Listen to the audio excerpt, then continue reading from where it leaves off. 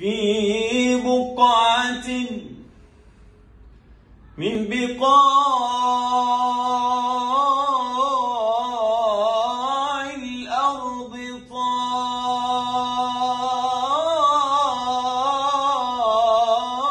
طاهرة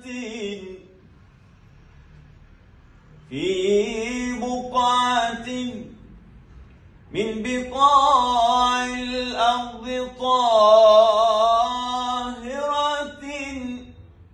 بنت